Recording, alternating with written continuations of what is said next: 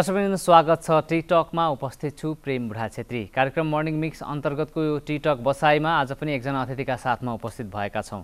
र खास गरी नेपालमा धानपछि यो प्रमुख खाद्यान्न बाली अन्तर्गत धानपछि मकै उत्पादन हुन्छ र हामीले मकै उत्पादनका विषयलाई लिएर आजको बसाइलाई केन्द्रित गर्ने विषय केन्द्रित गर्ने प्रयास गरिरहेका छौँ। खास गरी नेपालको मकै उत्पादन सन्दर्भ र अन्य देशहरूमा चाहिँ यसको अहिलेको पछिल्लो परिपाटी के छ र नेपाललाई कृषि प्रधान देश भनिँदै गर्दाखेरि हामीले विभिन्न खाद्य वस्तुहरू या विभिन्न कृषि उत्पादनहरूलाई चाहिँ अन्य देशबाट आयात गर्छौँ र त्यो आयातलाई घटाउँदै अब स्वयं नेपालीहरू आफै आफूले उत्पादनमा आत्मनिर्भर बन्न के गर्न सकिन्छ? यी लगायत थुप्रै विषयमा कुराकानी गर्नेछौँ। समग्रमा आजको यो बसाइ चाहिँ हामीले मकैलाई मकै खेतीमा लाग्नुभएका किसानहरूका लागि अझ धेरै नै लाभदायक हुने हामीले अपेक्षा गरेका छौँ। मसँग कुराकानी गर्नका लागि आज हामीले स्टुडियोमा आमन्त्रण गरेका छौँ।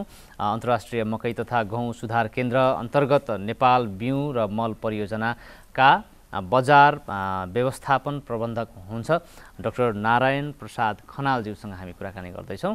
समग्रमा मकै बालीसँग जोडिएर र यसलाई चाहिँ व्यवसायीकरण कसरी गर्न सकिन्छ यी लगायत थुप्रै विषयमा आज हामी कुराकानी गर्नेछौँ। सबभन्दा पहिले म कार्यक्रममा उहाँलाई स्वागत गर्न चाहन्छु। यहाँलाई स्वागत छ सर। नमस्कार धन्यवाद। आराम हुनुहुन्छ? हजुर ठिक छ।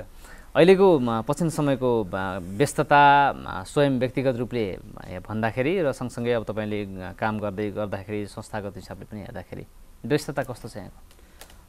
ठिकै छ। अब हामी यसमै लागिरहेछौँ खास गरेर यो परियोजनाले अलिकति युएसएआइडीबाट जुन फन्डिङ भएको र सेमिटबाट सञ्चालित यो हामी अहिले पनि यहाँले नाम दिनुभयो। नेपाल ब्युरो मल परियोजना अथवा छोटो हामी एन्साप भन्छौँ।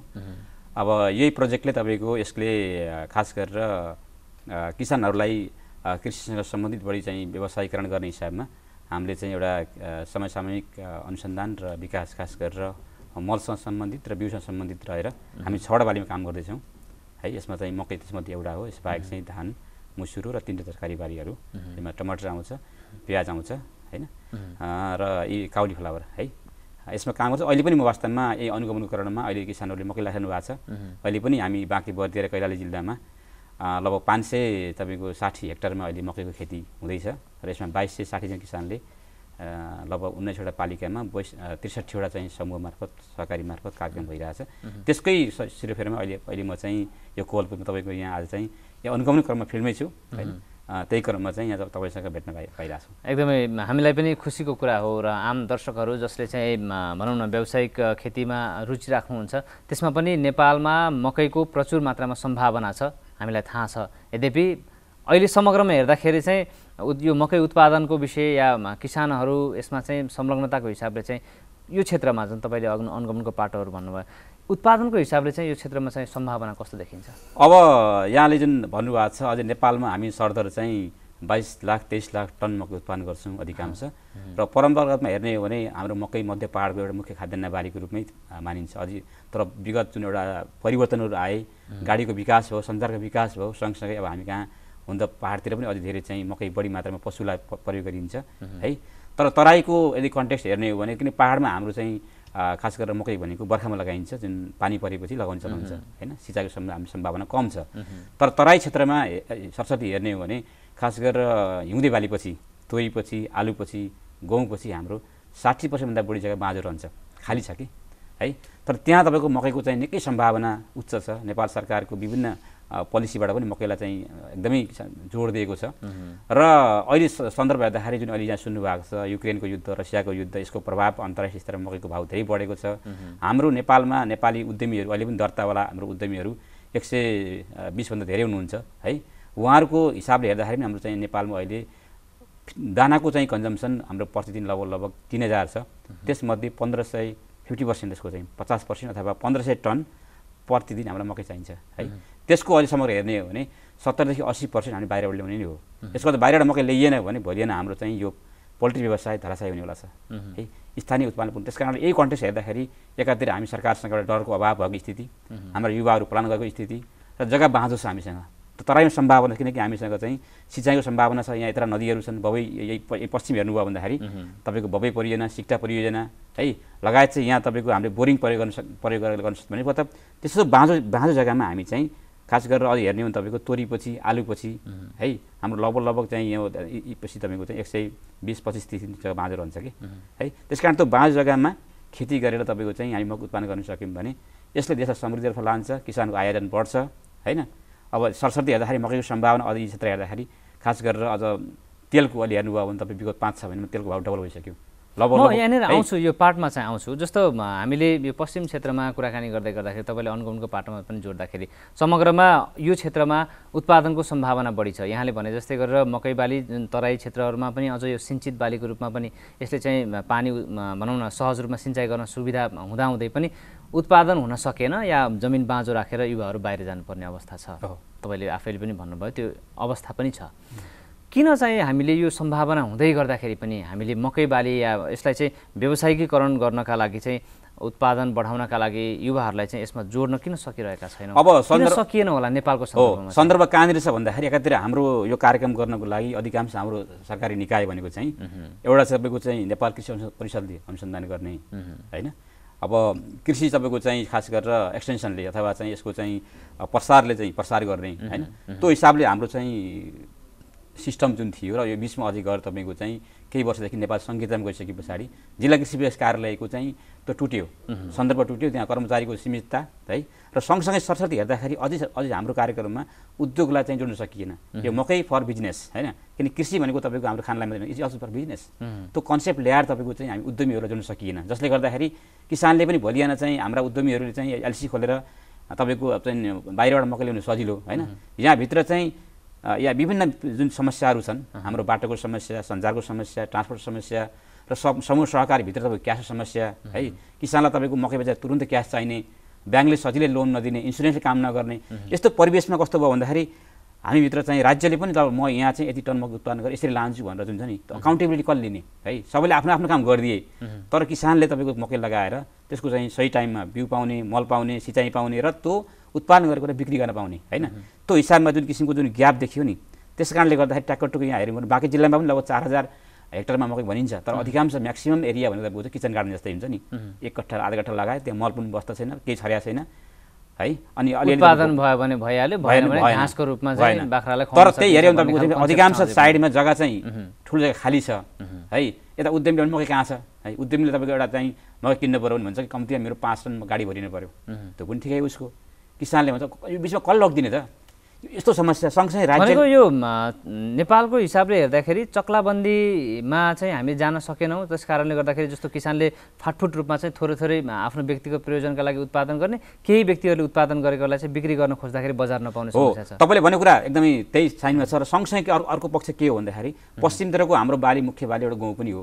किनकि हामी अझै पनि तपाईँको क्षेत्र हेर्छौँ। भने म्याक्सिमम् जनताहरूले चाहिँ रोटी खानुहुन्छ बेलुका होइन? त्यो सन्दर्भ पनि छ। त्यस कारण यो क्षेत्रमा किसानले गहुँलाई रिप्लेस गर्नुभन्दा पनि तपाईँको खास गरेर आलु र तोरीपछिको जुन बाँझो जग्गा छ नि त्यो बाँझो जग्गा सदुपयोग गरेर यसमा चाहिँ हामी व्यवसाय गर्न जानुपर्छ भन्ने किसिमको चाहिँ परिवेशको हिसाबले त्यसरी लिएको छ। त्यो जानको लागि अर्को चुनौती के हो भन्दाखेरि अहिलेको कन्टेक्समा मकैमा चाहिँ तपाईँको चाहिँ यो खास गरेर यो बसन्ती बाली भएको हुनाले अहिले यतिखेर यहाँ पानी परिरहेको छैन है। पूर्वतिर हेर्नु भने लगभग डेली पानी परिरहेछ यो पश्चिमको सन्दर्भमा अहिले यतिखेर किसानहरूले चाहिँ मकै भाँच्ने बेलामा थुप्रै किसानको मकै भाँचेपछि पनि तपाईँको राम्रोसँग चाहिँ त्यसलाई चाहिँ ड्राई गर्ने फिसिङ गर्ने अवस्था छैन। ठाउँ ठाउँमा बाटो पनि राम्रोसँग बाटो ट्रकहरू लान सक्ने बाटो पनि राम्रो ठाउँ ठाउँमा देखिँदैन। हुन त त्यही समय पछाडि यसमा सुधार भइरहेछ। है भनेपछि चुनौती कहाँनिर भन्दाखेरि एकातिर चाहिँ किसानले उत्पादन गरेको वस्तुमा ग्यारेन्टीका साथ बजार पाउँछु भन्ने खालको तपाईँ किनकि हामीसँग अर्को चाहिँ सेकेन्ड थर्ड भनेको चाहिँ नेपालमा राज्यले राज्यले हाम्रो नेसनल स्ट्यान्डर्डमा के हो? त्यो पनि नीति छैन अहिले हेर्नुभयो भने। दाना उद्योगले आज चौध पर्सेन्टको मोइस्चरलाई मकै मान्छ। कसैले बाह्र भन्ला कसैले तेह्र भन्ला कसैले चौध भन्ला राष्ट्रिय स्ट्यान्डर्ड के हो? भोलिएन एक बाइब्याक एग्रिमेन्ट गर्नलाई पनि भोलिएन कानुनी आधार भएन भने तपाईँ कोर्टमा जान सक्नुहुन्न कि? आधारै छैन। त्यस कारणले चाहिँ हाम्रो नेसनल स्ट्यान्डर्ड भएन। मिनिमम सपोर्ट प्राइस पोलिसी सरकारले राज्यले चाहिँ मकैमा मिनिमम कति हुनुपर्ने प्राइस? त्यो पनि छैन। हामी नितान्त इन्डियाको चाहिँ मार्केटको आधारमा आज इन्डियामा एक एकचालिस बयालिस रुपियाँ मकै पुगिसकेको छ। होइन? त्यसको आधार यहाँका व्यापारीले तय गर्ने हो। भनेपछि व्यापारीले भन्छ हाम्रो भोल्युम छैन। किसानले भन्छ बजार पाएन। है सरकारले भन्छ किसानले तपाईँको चाहिँ प्रोत्साहन आएन भन्नु मतलब यो तपाईँको तिनटै चरणमा हेर्दाखेरि एक्सटेन्सन फार्मर्स र इन्डस्ट्रीको बिचमा जुन ग्याप छ है त्यो त्यसलाई जोड्न सकिएन हामीले। त्यस कारणले आज चाहिँ त्यो जुन यो जुन तपाईँले भन्नुभयो नि यो ग्याप छ नि भनेको किसान त्यसै गरेर व्यवसाय र सरकार बिचको जुन ग्याप छ त्यसलाई चाहिँ कसरी परिपूरण गर्न हो। सक्छ त्यस कारणले मैले यहाँलाई पनि देखाएँ एक किसिमको चाहिँ अब यसलाई एड्रेस गर्नलाई एकातिर प्राविधिक रूपमा अगाडि जानको लागि मकैसँग नयाँ जात है यो हाम्रो चाहिँ यो सिमिटको एन्साफ प्रोजेक्टले चाहिँ के गर्यो भन्दाखेरि अब देशभित्र नेसनल सिट भिजनले पनि हामीलाई के भनेको छ भन्दाखेरि सिट रिप्लेसमेन्ट रेट तिमीहरूले चाहिँ बढाउनुपर्छ। तर त्यो बढ्नको लागि चाहिँ नेपाली जात उत्पादन गरी हुनुपर्छ। विदेशी जात आयात गरेर स्थापना गरेको मानिँदैन। है त्यस कारणले नेपालको इन्डस्ट्री ग्रो गर्नको लागि पनि नेपाली कम्पनीहरू नेपालको यो प्रोजेक्टले चाहिँ नेपाली कम्पनीहरूलाई जात ल्याउने बिजनेस प्लान फाइनेन्स गर्ने कुराहरूमा किसानको तपाईँ उद्यमीहरूलाई तपाईँको चाहिँ प्रोत्साहन गराएर है त्यसपछि उनीहरूलाई तपाईँको चाहिँ नेपालभित्रै नेपाली कम्पनीलाई जात दिएर नेपालभित्रै बिउ उत्पादन गराएर त्यो बिउ तपाईँको चाहिँ कम्पनीले उत्पादन गरेको बिउ चाहिँ अहिले हामी आठवटा कम्पनीसँग काम गर्दैछौँ। त्यो कम्पनीको बिउ चाहिँ समूह सहकारीमा त्यसलाई खाद्यान्न उत्पादन गर्ने त्यो चरणमा त्यहाँको चाहिँ ज्ञान केन्द्र त्यहाँको पालिकाले इन्भेस्टमेन्ट गर्ने र उत्पादन गरेको त्यो मकैलाई चाहिँ दाना उद्योगले किन्ने।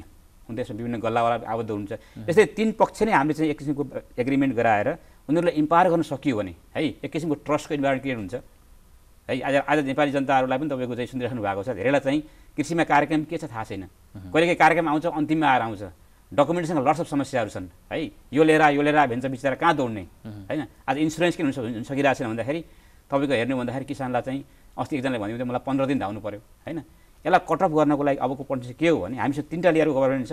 सेन्ट्रल गभर्मेन्ट प्रोभिन्सियल गभर्मेन्ट र लोकल गभर्मेन्ट छ। अहिले हामीले सुरु गरेको तपाईँको प्रोभिन्सियल गभर्मेन्ट अन्तर्गतको होइन खास बाँके र बर्दी जिल्लामा हाम्रो कृषि ज्ञान केन्द्र हुनुहुन्छ है र सँगसँगै तपाईँको बर्दियामा हाम्रो चाहिँ एकीकृत कृषि तथा पशु विकास संस्था हुनुहुन्छ खास गरेर आइएलडी भन्छौँ हामी। भनेपछि यो सेन्टरको तपाईँको बडीले चाहिँ एउटा कोअर्डिनेट गरिदियो भने है उहाँको अध्यक्षतामा हामीले चाहिँ अहिले चाहिँ उद्यमीहरूसहित राखेर चाहिँ त्यहाँमा व्यवसाय किसान गल्लावाला दाना उद्योग राखेर एउटा जुन सञ्जाल गठन गरेका छौँ हामीले। अब यो यहाँ हामी यसको चाहिँ संरचना पनि सबै उल्लेख गरेका छौँ। हुन त यो डाइनामिक एन्टिटी हो। यसरी सुरुवात गरी एक किसिमको होप आउँछ र सबै स्टेक होल्डर चाहिँ यसमा इम्पावर हुन्छन्। सरकारको पोलिसी के छ समस्या के छन् कसरी समाधान गर्ने होइन? र सँगसँगै उद्यमीहरूलाई पनि हामी जोड्न अहिले जो जोड्न खोजिरहेको छौँ। यसले के के हुन्छ त भन्दाखेरि सबै स्टेक होल्डरको बिचमा चाहिँ एक किसिमको ट्रस्ट इन्भाइरोमेन्ट क्रिएट गर्छ क्यापासिटी स्ट्रेन्थन हुन्छ र लगानी गर्ने वातावरण तयार गर्नुपर्छ। किन भन्दाखेरि आज हामीले बाहिरबाट नेपालमा पनि हेर्नुभयो भने हाइब्रिड मकै भर्खरै अहिले चाहिँ रामपुर हाइब्रिड दस सुरु भएको छ। नेपाल सरकारको जुन सिफारिस गरेको जात हो यो होइन? अस्ति पनि हामीले चाहिँ किसानहरूलाई डेमोन्स्ट्रेसन गरेर देखायौँ। किसान देखाउनु भयो कि बाहिरको हाइब्रिडभन्दा नेपाली हाइब्रिड कम छैन। राम्रो छ है? तर त्यो सूचना कसरी पुऱ्याउने भन्दाखेरि तपाईँको चाहिँ यो हामीले चाहिँ यो मेज व्यवसायीकरण सञ्जाल स्थापना गरेर मेज व्यवसायीकरण मोडल हामी चाहिँ मेज कमर्सियल मोडल भनेर भन्छौँ। यस अन्तर्गत चाहिँ त्यस कारणले हामीले चाहिँ विभिन्न खालका प्रविधिहरूको परीक्षण गर्ने सँगसँगै अहिले मलको हाकार सुनिराख्नु भएको छ। यो प्रोजेक्टले तपाईँको चाहिँ न्यानो एरियाका झोल मल लिएर आएर चाहिँ हामी ड्रोन लगाएर पनि हामी यो डुडुवामा परीक्षण गऱ्यौँ। यसको चाहिँ क्रप कट हुँदैछ। र सँगसँगै किसानलाई पनि अहिलेको अहिलेको ठुलो चुनौती यहाँ यहाँ यहाँ के छ भन्दाखेरि पालिकाहरूमा कर्मचारी एकदमै कम छ। खास कृषि प्राविधिकको एकदमै कम छ। राजु सुनारीमा एकजना नापरासा हुनुहुन्छ। प्रासा हुनुहुन्छ। उहाँले बिचरा चाहिँ त्यत्रो हेर्दै हुनुहुन्छ। इक्जाम्पल राखेको तपाईँले दिएँ होइन? यस्तो परिवेशमा जुन किसिमको हामीसँग चुनौती छ नि अब समाधान के हो त? नेपालमा हरेक कुराहरू चाहिँ यो बिग्रियो यो बिग्रियो भन्न भन्दा पनि there are some good cases के? हामी चाहिँ त्यो हाम्रो दायित्व पनि हो कि। त्यस्तो राम्रो तपाईँको उदाहरण लिएर आएर यसलाई अगाडि बढाउनुपर्छ जसले गर्दाखेरि यसले चाहिँ किसानलाई पनि मोटिभेसन गर्छ खर्च पनि घटाउँछ है? र तपाईँको अझ धेरै चाहिँ युवाहरूलाई यसमा आकर्षित गर्छ होइन? त्यो एङ्गलमा एड्रेस गर्नको लागि हामीले चाहिँ यो जुन व्यवसायीकरण मोडल सुरु गऱ्यौँ यसमा चाहिँ बिउ कम्पनी समूह सहकारी है? र तपाईँको दाना उद्योग अझै पनि तपाईँको मैले हेरेँ एकजना यहाँ सहकारीहरूले आज सिधै दाना उद्योगमा ल्याएर आज भुर अथवा साकार सहकारीहरूले वेल रोप्न सुरु गर्नुभएको छ यहाँ देखियो हामी। है त्यस कारणले किसानमा यो वर्ष उत्साह आयो कि? पोहोर साल तपाईँको किसानले चाहिँ मकै सुकाउन सकेन भाउ जम्मा पोहोर सालको भाउ औसतमा छब्बिस रुपियाँ थियो भने चाहिँ आज यो वर्ष किसानले चाहिँ पैँतिसभन्दा माथि पाएको देखिएको छ कि? त्यस कारणले भनेको समग्रमा हेर्दाखेरि उत्पादन बढ्दैछ। उत्पादन बढ्दैछ लगानीको वातावरण बढ्दैछ। अहिले यो वर्ष त हेर्दाखेरि मैले हिजो पनि बर्दियामा गएर हेरेँ। है बढिया बढिया तालमा गएर किसानले ओहो मकै लगाउनु पर्दो रहेछ। यो वर्ष चाहिँ हामी चाहिँ धानमा एक्काइस बाइस गहुँमा तिस एकतिस रुपियाँ पाएको थियौँ मकैमा पैँतिसभन्दा माथि पायौँ। जबकि तपाईँ गहुँको भन्दा मकैको उत्पादन डबल डबल डबल हुन्छ होइन?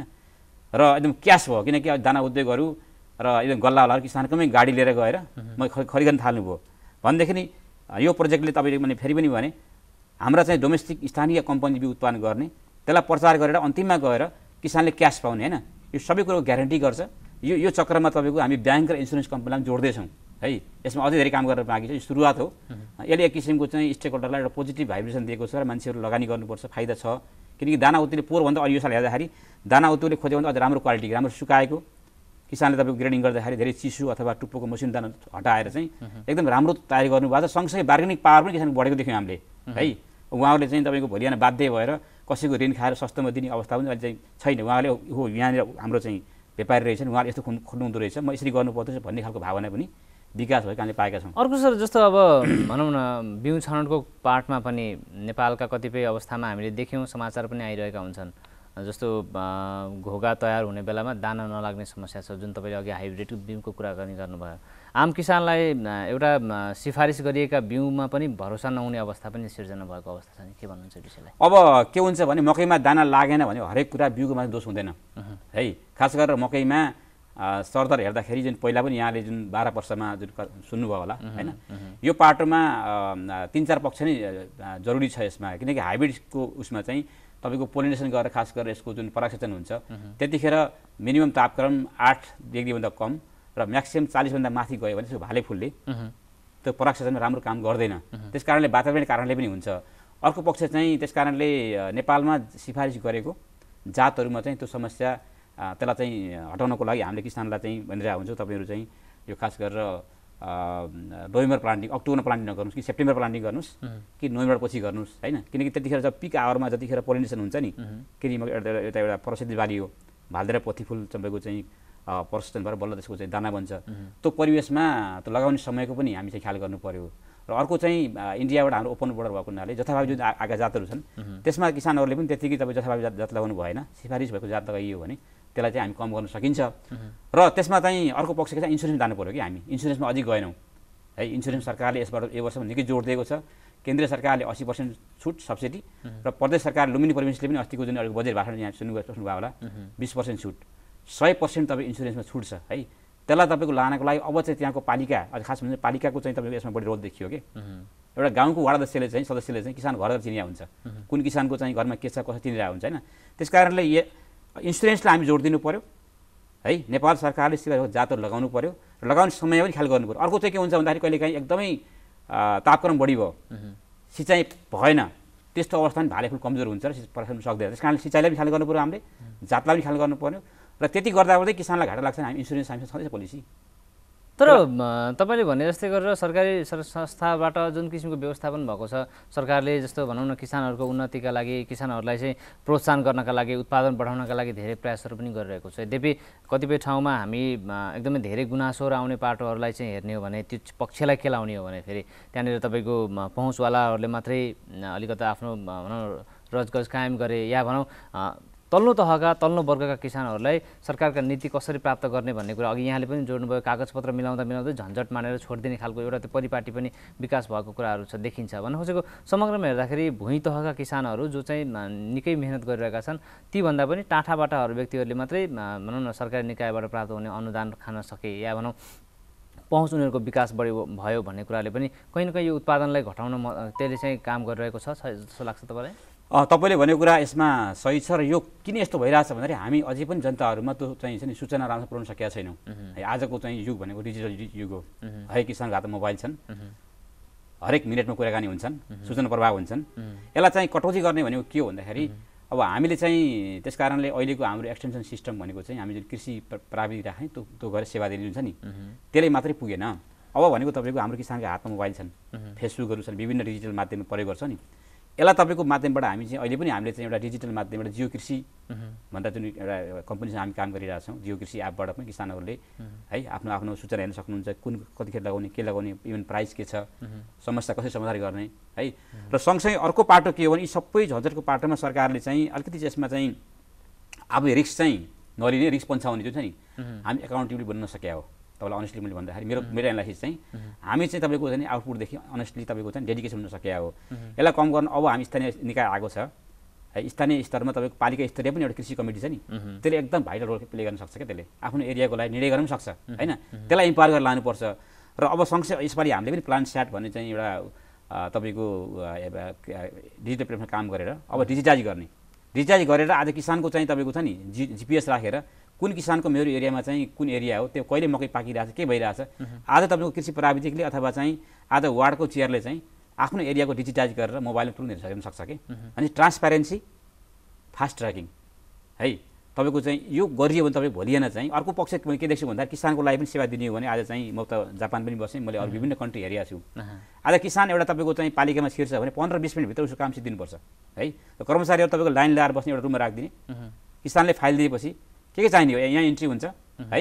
इन एक दुई तिन चार गर्दा तपाईँको चाहिँ पन्ध्र बिस मिनटभित्र तपाईँको चाहिँ किसानको समाधान गरी गरी गयो भने किसानलाई पनि आत्मबल बढ्छ नत्र चाहिँ किसान चाहिँ आज यहाँ कहाँ पुगेको छ भोलि वार्ड खोज्दै जाने पछि अमिर खोज्दै जाने अर्को को खोज्दै जाने भन्ने जुन परिपाटी छ यसले गर्दाखेरि मान्छेहरूमा एक किसिमको चाहिँ नरेसता आएको छ। त्यसलाई ट्र्याक गर्नको लागि पालिकाको ठुलो रोल देख्छु मैले है? र त्यो भइदियो र तपाईँको अबको पाटोमा ट्रान्सपेरेन्सी डिजिटल माध्यमलाई प्रयोग गऱ्यो भने थुप्रै यस्ता चाहिँ छ नि झन्झटहरू। त्यसलाई कटअप गरेर फास्ट गर्न सकिन्छ। अब तपाईँले विभिन्न देशहरूलाई भनौँ न त्यहाँ भएका उत्पादनको कुराहरूलाई पनि जोड्नु भएको छ हेर्नु भएको छ त्यहाँको अवस्था पनि देख्नु भएको छ। नीतिगत रूपले हेर्दाखेरि र भनौँ अझ उत्पादनको हिसाबले उत्पादन बढाउनका लागि त्यहाँका सरकारहरूले भनौँ न विभिन्न देशका सरकारहरूले किसानहरूको लागि गरेका कामहरूलाई हेर्दाखेरि तुलनात्मक रूपमा नेपालको अवस्था र अन्य देशहरूको परिपाटी हो मकै उत्पादन या भनौँ बाली उत्पादनका लागि चाहिँ अन्य देशहरूले गरेको व्यवस्था जो चाहिँ सराहनीय छ र त्यो कुरा चाहिँ नेपालले उदाहरणीय रूपमा चाहिँ प्रस्तुत गर्न सक्छ या प्रयोग गर्न सक्छ अभ्यास गर्न सक्छ भन्ने कुराहरूमा के कस्तो पाउन सक्छ अब कस्तो छ भन्दाखेरि तपाईँको चाहिँ हुन त हाम्रो नेपालको आफ्नै मौलिकता छ। हाम्रो आफ्नै धरातलीय स्वरूप छ हाम्रो आफ्नै तपाईँको चाहिँ जनजाति कम्पोजिसन छ हाम्रो आफ्नै ओरिजिनालिटी छ। त्यस कारणले हामी डाइरेक्टली कपी गरेर ल्याउनुपर्छ भन्ने म छैन। है तर राम्रो केसलाई ल्याएर हामी चाहिँ केही केसलाई चाहिँ सुरुवात गरेर हाम्रो आफ्नो ढाल्न सक्छौँ। है त्यो परिवेशमा हेर्दाखेरि नेपालको परिवेशमा अब यहाँ कस्तो छ भने कृषिमा चाहिँ एउटा एरिया हाम्रो छ जहाँ जहाँ व्यवसाय गर्न सकिन्छ। व्यवसाय गर्ने किसान छन् जसले चाहिँ लगानी गरेर लगानीको प्रतिफल उठाउनु उठाउनुपर्छ रिटर्न इन्भेस्टमेन्ट हुन्छ नि। एउटा त्यो पक्ष छ। अर्को पक्ष कहीँ ठाउँमा तपाईँको हाम्रो मार्जिनल एरिया छ। दलित छन् गरिब छन् गरिब किसानहरू छन्। त्यहाँ चाहिँ भनेको कृषि भनेको फुड फर सर्भाइभल। है अब रेजिलेन्स भनौँ होइन। लाइभलीहुड। त्यो वर्ग छ। त्यस कारण एउटै बास्केटमा राखेर हेर्नु हुँदैन। है तराईमा तपाईँको जहाँ हाम्रो सिँचाइ छ मेसिनरी छ है जहाँ त व्यवसाय सम्भावना छ त्यहाँ कृषि भनेको चाहिँ एग्रिकल फर बिजनेस। आज किसानले भोलि बिहान तपाईँको घरभित्र राखेर पनि लोन लगानी गर्ने वातावरण बनाउनुपर्छ। जसले गर्दा उत्पादन हाम्रो चाहिँ तराई भनेको चाहिँ उत्पादनको भण्डार हो। यस्तो अर्थ मैले पाहाडमा हुन्न भने खोजेको होइन। त्यहाँको चाहिँ केही स्कोपहरू पशुपालन फलफुल होइन केही तरकारीको बिउ उत्पादन तरकारी होला होइन। तर तर त्यस कारणले चाहिँ यसलाई एउटै बास्केटमा राखेर हेर्नु हुँदैन है। र ती मान्छेहरूलाई चाहिँ भोलि चाहिँ आफ्नो लगानी गरेर लगानीको प्रतिफल ल्याउनको लागि त्यो हिसाबले चाहिँ हामी काम गर्न सकियो भने होइन? त्यो हिसाबले चाहिँ हेर्नुहोस् यसले आउटपुट दिन्छ फाइदाजनक हुन्छ र कृषि भनेको सम्मानजनक आज खेती गरेर भोलिआएर चाहिँ किसानले जसरी जागिरवालाले जुन महिनामा जुन जागिर खाएर तिस पच्चिस हजार कमाउँछ नि किसानले पनि तपाईँको त्यसरी कमाउने हिसाबमा सुनिश्चितता गर्न सकियो भने बल्ल तपाईँ कृषि क्षेत्रमा मान्छेको चाहिँ लगानी बढ्छ आगमन बढ्छ यसले चाहिँ फर्क मार्छ? अब यो नीतिगत कुराहरू हामीले छलफल गऱ्यौँ। थोरै किसानका समस्याका विषयलाई म थोरै सर विदेशमा कसरी चेन्ज भयो भन्ने पक्षको जुन यहाँले कुरा गर्नुभएको थियो म क्यानाडामा गएर पनि यो कृषिको चाहिँ त्यहाँ मैले पुरानो म्युजियमहरू पनि हेरेँ कसरी के भएर छ भन्ने पाटो जापानकै हेर्नुपर्ने उन्नाइस सय साठीमा जापानले के गर्यो भन्दाखेरि देशभरि सबभन्दा पहिला आफ्नो राज्यको चाहिँ युवाहरूलाई प्रोत्साहन गरेर प्लटिङ गर्यो। हरेक किसानको फिल्ड चाहिँ दस मिटर चौडाइ तिस मिटर लम्बाइ हुनैपर्छ। त्यो फिल्डमा सिँचाइको सुविधा हुनैपर्छ। सिँचाइ र तपाईँको चाहिँ त्यसमा चाहिँ ड्रेनेज निकास हुनैपर्छ। त्यो अभियान ल्याएपछि बल्ल तपाईँको जापानले के मेसिन डिजाइन गर्यो। है त्यो गरामा जाने मेसिन कस्तो हुनुपर्छ कसरी जान्छ? अहिले हेर्नुहोस् त हामी कहाँ चाहिँ जाने ठाउँमा बाटै छैन। जग्गा तल र माथि कहाँ पुगेको छ? है हुन त केही मेसिन सानो सानो ल्याए तापनि तपाईँको त्यो अभियान र इभन हाम्रो प्लानिङ छैन समस्या। सबभन्दा ठुलो चाहिँ दुर्भाग्य भनेको देशमा चाहिँ हुन त विभिन्न पार्टीहरूले आफ्नो नाराहरू ल्याए। तर पनि अब हेर्नुभयो भने अहिले अन्धाधुन्द जुन घडेरीमा जुन जग्गा गइरहेछ। हाम्रो खेती जग्गा कहाँ हो? हामीले घर बनाउने कहाँ हो? त्यो एरियामा चाहिँ हाम्रो बगैँचा कहाँ हो? होइन? त्यो खालको प्लानिङ भएर प्लानिङ फेरिमा गइयो भने चाहिँ एकदम सहजता ल्याउँथ्यो तर हामी यसमा अन्धाधुन्द भयौँ पोलिटिकल नाराहरू आए तर कसैले पनि सिरियस लिएर तपाईँ काम देखिएन अब नीतिगत कुरा बाहेक किसानको केही समस्याहरू जस्तो बिउ छनौटको विषयमा किसानले कस्तो कुरामा ध्यान दिनुपर्ने? अब किसानहरूले बिउको सन्दर्भमा जुन बजारमा विभिन्न खालका पनि बिउहरू जुन पाइन्छन् त्यस कारणले त्यसमा चाहिँ बिउ चाहिँ कसले सकभर किसानलाई बिल राख्न म अनुरोध गर्छु। किन केही गडबड भयो भने किसानले कमसे किलोमिटर ठाउँ रहन्छ कि। अधिकांश किसानलाई बिल नदिने अझ पारिबाट ल्याएर तराईमा त पारिबाट साइकलमा मोटरसाइकल ल्याएर बिउ बेच्दियो कसले दियो पनि थाहा छैन के दियो पनि थाहा छैन। धेरै केसहरू छन् है। त्यस कारणले किसानहरूले बिउ लगाउँदाखेरि त्यसको चाहिँ सूचना राम्रोसँग त्यसमा चाहिँ कुन जातको बिउ कहिले लगाइयो सप्लायरको हो होइन। त्यो खालले पनि एउटा हेर्नु पऱ्यो र सँगसँगै चाहिँ किसानको चाहिँ पनि विभिन्न कुनै कुनै किसान हुन्छन् म चाहिँ साँच्चैकै बिजनेसलाई खेती गरिरहेको छु भने त विभिन्न तराई हेर्नु भने अहिले चाहिँ स्कोप बढी भनेको चाहिँ यो व्यवसायीकरणमा हाम्रो हाइब्रिड छ हाइब्रिडकै हाइब्रिडको उत्पादन बाह्र बाह्र टन पन्ध्र टन अथवा कट्ठामा तपाईँको चाहिँ चारदेखि पाँच कुइन्टल फलसम्म फल्ने पनि जातहरू छन् कि। त्यस कारणले किसानहरूले चाहिँ पहिला चाहिँ लगाउँदाखेरि बिउ मात्रै लगाएर भने बिउ चाहिँ राम्रो छान्नु पऱ्यो र सँगसँगै म चाहिँ यो एरियामा यति बिउ लगाउँछु यसलाई मल दिन्छु पानी दिन्छु र यसको चाहिँ किरा खास गरेर अझै चाहिँ यसमा चाहिँ फलारिमम जुन एउटा किरा जुन छ नि यो आएको छ लगायत चाहिँ यो यो यो गरेर यसरी बेच्छु भन्ने हिसाबले किसानले प्लानिङ गर्नु पऱ्यो पहिला। प्लानिङ गरेर बल्ल तपाईँको चाहिँ यो अब छुटमा पाइयो यो सस्तो पाइयो भने दौड्ने होइन कि। भोलि आएर चाहिँ गुणस्तर बिउ लगायो भने यसमा फाइदा हुन्छ फल्छ भन्ने हिसाबमा चाहिँ राम्रो जातको बिउ छनौट गर्नु पऱ्यो सँगसँगै बिउ छान्दाखेरि चाहिँ अब मैले कति दिनको भेराइटी पाउने जस्तो एकदम छोटो भेराइटी पनि छ जस्तो नब्बे दिनको भेराइटी पनि छ जस्तो नूतन भन्ने भेराइटी छ जुन नब्बे दिनमा पाक्छ होइन? त्यसपछि गएर तपाईँको चाहिँ एक सय बिस पच्चिस भेराइटी पनि छ। त्यस कारणले मेरो क्रपिङ प्याटर्न कस्तो हो? मैले चाहिँ कुन पछि लगाइएको? यहाँ हजुर हजुरलाई मैले भने यो खास गरेर बाँके बर्दिया कैलाको केसमा चाहिँ धेरै सम्भावना बोकेको बसन्ते बाली भनेको चाहिँ खास गरेर किसानले धान लगाउँ धान काटेपछि चाहिँ तोरी अथवा आलु अथवा मुसुरो त्यसपछिको तपाईँको फिट भनेको तपाईँको एक सय बिस पच्चिस फिट हुन्छ। तर गहुँपछि लगाउनेमा अलिक रिक्स छ किनभने तपाईँको चाहिँ अझ खास कहिले कतिपल्ट त किसानहरूले चाहिँ एक महिना अगाडि त्यहाँ तपाईँको धानको चाहिँ त नि धान लगाउने क्रम सुरु हुन्छ होइन? त्यस कारणले चाहिँ आफ्नो जग्गा आफ्नो क्रपिङ सिस्टम हेरेर त्यसमा फिट हुने उत्पादन बढिदिने र दाना उद्योगलाई बेच्ने हो भने दाना उद्योगले पहिलोमा खोज्छ पहिलो है? सेतो मकै दाना उद्योग त्यति चाहिँ खोज्दैन। त्यस कारणले चाहिँ दाना उद्योग चाहिँ म के को लागि म खेती गरिरहेको छु? विचार गर्नु पऱ्यो। म खानला हो कि? म मको चाहिँ स्थानीय रूपमा चाख्लाहरू बेच्नला हो कि? दाना उद्योगलाई हो त्यो निर्णय गरेर आफ्नो चाहिँ सिस्टम हेरेर किसानले जात छान्नु पऱ्यो। पानी सिँचाइ चाहिँ जस्तो मकै उत्पादन भनेको बिउ बेर्ना उत्पादन भइसकेपछि भनौँ टुसा निस्किसकेपछि र त्यसलाई चाहिँ भनौँ अब भण्डारण गर्नुभन्दा अगाडिसम्म चाहिँ कति पटक सिँचाइ गर्नुपर्ने अब सिँचाइको केसमा हामी सामान्यतया तिनदेखि चार सिँचाइ किन यो सिजन भनेकै आफै फेरि एकदमै गर्मी सिजन हो है पानी सुकिहाल्छ। त्यसो भने बलौटी माटो वन चाहिँ सिँचाइ पाँचपट्टि पर्ला। है चिन्डाली माटो वन तिनदेखि चारपट्टि पर्ला। कहिले आकाशमा पानी पर्ने पनि हाल्छ। यी सबै कुरा विचार गरेर किसानले तिनदेखि चार पटकसम्म सिँचाइ गर्दा राम्रो हुन्छ। र त्यसमा पनि तपाईँ क्रिटिकल रूपमा हेर्ने हो भने जुन हामीले जुन बिउ उम्रेको एक महिनाको हाराहारीमा सिँचाइ गर्ने पनि जरुरी हुन्छ। सँगसँगै चाहिँ यो दाना लाग्ने बेलामा अझै बढी जरुरी हुन्छ। किनकि त्यतिखेर चाहिँ किनकि मकैको हरेक दाना हुन्छ नि। हरेक दाना एउटा भाले फुल त्यहाँ पुग्या हुनुपर्छ कि। त्यसको अर्थ एउटा मकैको दा एउटा मकैको घोगामा नब्बेवटा चाहिँ दाना छ भने नब्बेवटा भाले फुल त्यहाँ पुग्या हुनुपर्छ कि। भनेको, यदि यदि यदि भाले फुलले त्यहाँ काम गरेन भने तपाईँ त्यहाँ थोत- थोत्रो भयो अथवा भित्र दाना भएन कि? है? र त्यो भाले फुलले काम गर्ने सिँचाइ ठुलो महत्त्व छ। यदि सिँचाइ भएन एकदमै ड्राई भयो भने त्यो भाले फुल चाहिँ पोथी फुलमा गएर काम गर्दैन। भनेको घोगामा पूर्ण दाना लाग्नका लागि बिउ मात्रै जिम्मेवार छ। होइन होइन। बिउ पनि हेर्नु पऱ्यो सिँचाइ पनि हेर्नु पऱ्यो गोडमेल पनि तपाईँको चाहिँ राम्रो छ किनकि तपाईँ भाले फुललाई एकदम तन्दुरुस्त राख्नु पऱ्यो कि। तपाईँको त्यो कमजोर भयो भोलि नभयो भने त्यसले तपाईँको चाहिँ भाले फुलले त प्रकार दिन सक्दैन है। र अर्को महत्त्वपूर्ण कुरा मकैमा ठुलो चुनौती यहाँनिर के छ भन्दाखेरि तपाईँको खास गरेर यो फौजी किरा। है फौजी किराले तपाईँको ठुलो आतङ्क यहाँ मचाएको छ ठाउँ ठाउँमा अहिले चाहिँ सरकारले पनि अभियानको रूपमा गरेर अहिले कन्ट्रोल भएको छ। फौजी किरा पनि कन्ट्रोल गरेर त्यसले त्यसले पनि खाइ नोक्सान गर्न सक्छ रोग पनि आउन सक्छ र अहिले सँगसँगै किसानले चाहिँ पानी जम्दिनु भयो भने मकैले तपाईँ पानी जम्न सुहाउँदैन फेरि है। सबै तपाईँको चाहिँ अझ ड्याङमा खेती गऱ्यो भने चाहिँ पानी जम्नबाट रोक्न सकिन्छ। किसान मल पानी सिँचाइ होइन? झारपात व्यवस्था पनि सबै कुरा ख्याल गर्नु बिउ मात्रै दिएर भन्ने हुँदैन। टोटल उत्पादनमा बिउको तपाईँको चाहिँ एउटा कन्ट्रिब्युसन भनेको बिसदेखि पच्चिस पर्सेन्ट हो होइन? त्यहाँ अरू फ्याक्टर छ नि त। बिउ मात्रै छरिदियो मकै तपाईँको चाहिँ मलै पाएन पानी नै पाएन अनि उत्पादन भएन भन्नु भएन कि? यसलाई बच्चालाई स्याहार गर्नु पऱ्यो मकैलाई। कतिखेर पानी चाहिन्छ कतिखेर मल चाहिन्छ होइन? किरा आउँछ कि आउँदैन अनुगमन पनि गर्नु पऱ्यो है? यी सबै कुरा मिलाएपछि मात्रै हामी उत्पादन ग्यारेन्टी गर्न सक्छौँ। भण्डारणमा चाहिँ ध्यान दिनुपर्ने कुराहरू? अब भण्डारणमा तपाईँले निकै के अरे गहन प्रश्न सोध्नुभयो। अब अहिले पनि किसानले भएको कुरा त्यही हो। अब हाम्रो यहाँ बसन्ते मकैमा के हुन्छ भने किसानले चाहिँ मकै भाँच्यो। अझ ढिलो पानी परिदिन्छ। पोहोर साल चाहिँ एक हप्ता अगाडि पानी सुरु भयो। मनसुन यहाँ बाँकी भर्खर भर्खर सुरु हुँदैछ। अलिअलि अझै पानी राम्रोसँग परिसकेको छैन। यसले गर्दा यो वर्ष किसानले राम्रोसँग मकै सुकाउन सक्नुभयो होइन? भनेदेखि अब भण्डारणमा किसानले ध्यान दिनुपर्ने के हो भने पहिला तपाईँ मकै भाँचेपछि पनि तपाईँको त्यहाँ मध्ये कोही मकै तपाईँको हरियो हुन्छ कुनै ठाउँमा तपाईँको ढिलो उम्रेर के? यदि राम्रो सिँचाइ भएन भने कुन ठाउँमा मकै ढिलो उम्रन्छ त्यहाँ मकै अलि हरियो देखिन्छ। कुनै ठाउँमा तपाईँको मकै ढलेर चाहिँ कुहिएको पनि हुन्छ। त्यस कारणले घोगा छान्दाखेरि पनि तपाईँको कुहिएको हरियोमा छुट्टा राख्नु पऱ्यो है? र त्यसलाई थ्रेसिङ गरेर तपाईँको चाहिँ मकैलाई राम्रोसँग चाहिँ र सकभर किसानलाई अझ यहाँ के भन्छ भन्दाखेरि तपाईँको अझै हेर्दाखेरि चाहिँ यदि घाम लागेछ भने तपाईँको चाहिँ त्यसलाई थ्रेसिङ गर्नुहोस्। घाम लागेको छैन भने तपाईँको चाहिँ बरु त्यसको पोस्कर बाहिरको बोकेर हटाएर होइन घरमा छोडिदिनुहोस्। अथवा दुइटा फ्यान हामी अस्ति पनि हेऱ्यौँ।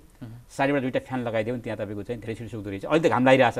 यदि घाम लागेन है पानी पर्ने अवस्था छ बाहिर साक्न सकिएन भने चाहिँ किसानले इमिडिएट रूपमा त्रिपाल लाएर छोप्नु पऱ्यो र त्यसलाई तपाईँको कतिपय ठाउँहरूमा झुडाएर पनि राख्न सकिन्छ।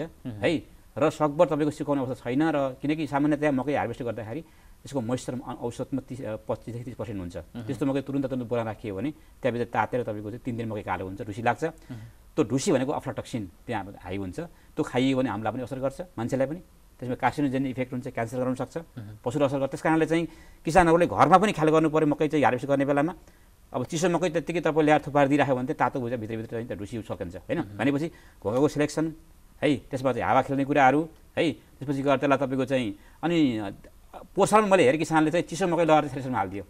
त्यो मकै फुटेर तपाईँको चाहिँ नोक्सान भयो कि? त्यस कारणले चाहिँ राम्रो थ्रेसरको चाहिँ जुज गर्नु पऱ्यो है? त्यसपछि गएर तपाईँको मकै अब किसानले कतिपय पनि यस्तो बजाएर पनि तपाईँ आवा आवाज आयो भने बाह्र चौध पर्सेन्ट छ भन्ने खालको चाहिँ हामीले पनि देख्यौँ होइन? त्यस कारणले मोइस्चर मिटर राखेर पनि सकिन्छ भने चाहिँ कति मोइस्चर छ त? अनि बाह्र पर्सेन्टको मकै मोइस्चर राखियो भने एकदमै राम्रो दाना उद्योगले पनि तपाईँको चौधभन्दा बढीको चाहिँ उसले चाहिँ किन्दैन। त्यस कारणले यावत कुराहरू यसको चाहिँ बोराको सेलेक्सन है? तपाईँको चाहिँ अब चिसो मकै तपाईँको अथवा तातो मकै धेरै प्लास्टिक राखेको अन्त भित्रबाट ढुसी आउँछ त्यस कारणले चाहिँ र सँगसँगै अर्को सोल्युसन भनेको के हो भने पालिका स्तरमा अस्ति पनि हामीले चाहिँ एउटा हाम्रो पाहाडी थारूजी हुनुहुन्छ बर्दियामा त्यहाँ पनि एउटा ड्रायरको हामी चाहिँ एउटा चाहिँ त्यसलाई बर्दियामा ल्याएर टेस्ट गरेर हेऱ्यौँ होइन? नेपालमा ड्रायरको पनि जरुरी छ है? सुकाउने मेसिन जरुरी छ है। त्यो मेसिन अब कन्टेक्समा राज्यले देशभित्रै हाम्रो चाहिँ प्रशस्त मात्रामा बिजुली उत्पादन हुँदैछ। त्यस कारणले चाहिँ त्यो बिजुलीबाट चल्ने है? र तपाईँको त्यो खालको चाहिँ ड्रायरहरू भइदियो भने चाहिँ इमर्जेन्सी केसमा प्रयोग गर्न सकिन्छ। अहिले तत्काल भनेको किसानहरूले भनेको त्रिपालले छोप्ने घाममा सुकाउने है र तपाईँको चाहिँ पानीबाट जोगाउने है। र अब केही किसानले घरमा पनि आफ्नो बाख्रा छन् भैँसी छन् कुखुरा छन् त्यसलाई प्रयोग गर्न सक्नुहुन्छ घरमा राखेर। त्यतिखेर तपाईँको मकै राम्रोसँग सुक्यो भने चाहिँ र राम्रोसँग चाहिँ बोरामा टाइट गरेर राख्न सकियो भने चाहिँ त्यसमा चाहिँ घुना घुन पुतली किराबाट बचाउन सकिन्छ है। दाना उद्योगले खोज्ने भनेको मुख्य चाहिँ सुकेको मकै सफा मकै है। यी कुराहरू हाम्रो सहकारी स्तरमा पनि सहकारीले व्यवस्थापन गर्न सक्छन् किसानको सङ्कलन गरेर सहकारीले एकमुष्ट तपाईँको लिएर गएर दाना उद्योग दियो भने पैसा पनि राम्रो पाउँछ होइन? र त्यो हिसाबले चाहिँ सहकारी अलिक सहकारीमा त के देखिन्छ चुनौती भने उहाँहरू क्यास हुँदो रहेछ। किसानलाई इमिडिएट क्यास चाहियो तुरन्त तुरन्तै। त्यस कारणले चाहिँ उहाँहरूलाई चाहिँ कसले क्यास दिन्छ त्यसको पछाडि लाग्नुहुन्छ। किनकि मकै बेचेर किसानले होइन त्यसको तपाईँको चाहिँ त्यसको चाहिँ मल किन्ने बिउ प्रयोग गर्ने लेबर खर्च हुन्छ त्यस कारणले चाहिँ यो पोस्ट हार्भेस्ट व्यवस्थापनमा ख्याल गर्ने कुनै यी कुरा हुन्। मुख्य मुख्य कुरा हुनु चिसिया व्यवस्थापन गर्नुहोस् है? र मकैलाई सफा राख्नुहोस्। यो हुने बित्तिकै तपाईँको चाहिँ मकैले भाउ राम्रो पाउँछ। घरमै राख्यो भने पछि त किसानले पनि सक्छन् होइन? हस्। म आजको कुराकानी यहीँ टुङ्ग्याउँछु हामीसँग समय अभाव छ र समयको अन्तिम चरणमा छौँ हामी चाहिँ। अब यो महत्त्वपूर्ण कुरा यति धेरै किसानलाई काम लाग्ने कुराहरू हामीले आज कुराकानी गऱ्यौँ। यो समय हामीलाई उपलब्ध गराइदिनु भएकोमा यहाँलाई धेरै धेरै धन्यवाद। धेरै धेरै धन्यवाद। यहाँले जुन टाइम दिनुभयो नेपाल टेलिभिजन जुन हाम्रो कोलपुर शाखाले र समग्र चाहिँ सबै सुन्नुभएका जुन महानुभावहरू किसानहरू वास्तवमा हामीले यो कार्यक्रम हामी आयो भने तापनि नेपाल सरकारको कार्यक्रमसँग हामी टेवा पुऱ्याएर अगाडि बढेको हो। यसमा खास गरी यहाँको कृषि ज्ञान केन्द्रहरू त्यसपछि गएर हाम्रो आइएलडिओ बर्दिया है लगायत चाहिँ यसमा पालिकाहरू संलग्न हुनुहुन्छ सम्पूर्ण उद्यमी संलग्न हुनुहुन्छ। हामीले एक किसिमको चाहिँ क्याटालिटिक रोल प्ले गरेको हो होइन। यसले एउटा इक्जाम्पल देखाउन खोजिरहेको छ कि देशभित्रै अब यसको यसको चाहिँ सूचनाले तपाईँको हामी कृषि मन्त्रालय अर्थ मन्त्रालयसम्म यसको सूचना पुऱ्याएका छौँ। यो एउटा चाहिँ एउटा बिजनेस केस हुनसक्छ एउटा किसिमको चाहिँ यसले चाहिँ पोजिटिभ हाइब्रिड यसलाई यसलाई चाहिँ अझै यसलाई चाहिँ परिस्थिति अगाडि लान सकियो भने हामी चाहिँ मकैमा आत्मनिर्भर सक्छौँ र हाम्रो बाँझो जग्गालाई प्रयोग गरेर कृषिमा एक किसिमको चाहिँ क्रान्ति ल्याउन सकिन्छ। जुन भन्ने जुन हाम्रो जुन किसिमको अहिलेसम्मको अनुभव छ। यहाँ धेरै धेरै धन्यवाद र आगामी दिनमा हाम्रो यो काम पनि कन्टिन्यू हुनेछ र आगामी दिनमा तपाईँमा अरू पनि सूचनाहरू ल्याउने हामी प्रयास गर्नेछौँ। हस् धन्यवाद। यहाँलाई धेरै धेरै धन्यवाद। नमस्कार। दर्शकवृन्द आज हामीले कुराकानी गऱ्यौँ टी टकमा अन्तर्राष्ट्रिय मकै तथा गौँ सुधार केन्द्र अन्तर्गत नेपाल बिउ र मल परियोजनाका बजार व्यवस्थापन प्रबन्धक हुनुहुन्थ्यो। यसै गरी मकै बाली विज्ञ हुनुहुन्थ्यो डाक्टर नारायण प्रसाद खनालज्यूसँग हामीले कुराकानी गऱ्यौँ। समग्रमा नेपालको यो मकै उत्पादन सँगसँगै खास गरी पश्चिम क्षेत्रमा यसको अवस्था यसको सम्भावना र यसबाट अझै धेरै फाइदा कसरी लिन सकिन्छ र सँगसँगै किसानहरूका लागि आजको यो बसाइ चाहिँ निकै फाइदाजनक रह्यो होला भन्ने हामीले अपेक्षा गरेका छौँ। यस लगतै हामी जिल्ला अपडेटमा उपस्थित हुनेछौँ। हामीसँगै रहनुहोला।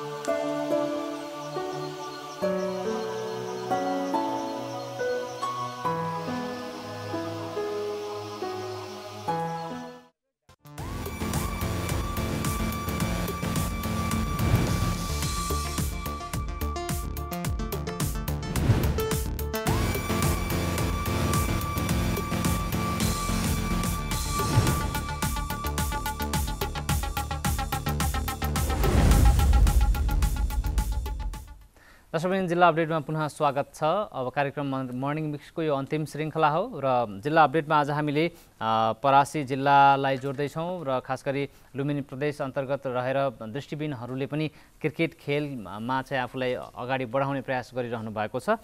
कुष्माकर ढकालले हामीलाई हिजो रूपन्देही परासीबाट चाहिँ हामीलाई एउटा रिपोर्ट पठाउनु भएको थियो। परासी जिल्लामा पनि त्यहाँ चाहिँ अहिले भनौँ न दृष्टिबिनहरूले क्रिकेट अभ्यास गरिरहनु भएको छ। समग्रमा खेल जगतका विषय र यसलाई चाहिँ अलिकता दृष्टिबिनहरूले पनि क्रिकेट खेल्ने कुराहरूलाई चाहिँ अझ अगाडि कसरी बढाउन सकिन्छ भन्ने पाटोहरूमा के भइरहेको छ भनेर अपडेट लिने प्रयास गर्नेछौँ। हामीसँग कुष्माकर ढकाल हाम्रा सहकर्मी हुनुहुन्छ परासी जिल्लाबाट।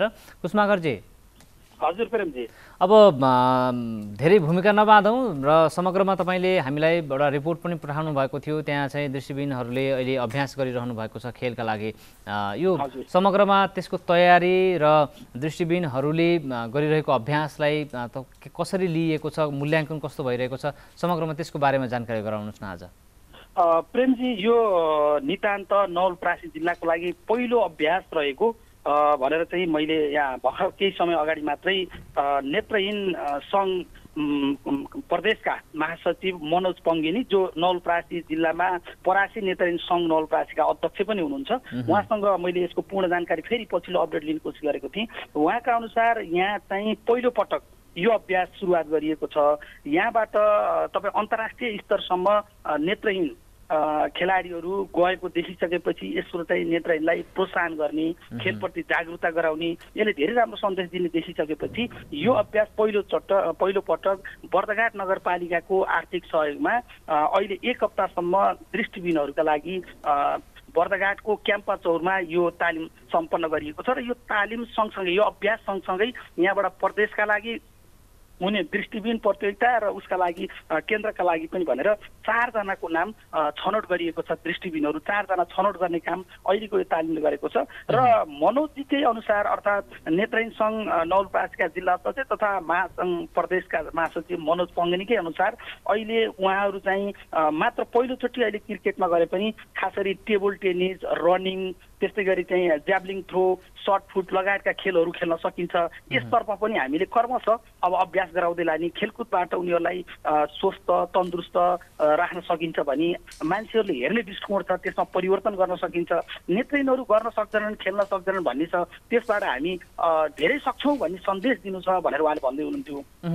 जस्तो जस्तो अब भनौँ न तपाईँले नै भनिहाल्नुभयो कि भनौँ न नेत्रहीन या भनौँ दृष्टिविहीन व्यक्तिहरूका लागि पनि एउटा चुनौतीको विषय जस्तो पनि देखिने तर आम रूपले चाहिँ एउटा सबल साङ्ग व्यक्तिले चाहिँ यिनीहरूले केही पनि गर्न सक्दैनन् भनेर एउटा मनोविज्ञान सिर्जना गरिरहेको अवस्थामा यसरी उनीहरू आफै पनि हामी सक्छौँ भनेर मैदानमा उत्रिरहँदै गर्दाखेरि तपाईँले रिपोर्टिङ गर्दै गर्दाखेरि उहाँहरूसँग प्रतिक्रिया लिँदै गर्दाखेरि उहाँहरूको त्यो मनोभाव उहाँहरूले गर्ने भनौँ न उहाँले व्यक्त गरेका कुराहरूले उहाँहरूको एउटा किसिमको आत्मबललाई कसरी चाहिँ प्रस्फुटन गरेको पाउनुभयो? प्रतिक्रिया कस्तो पाउनुभयो उहाँहरूको?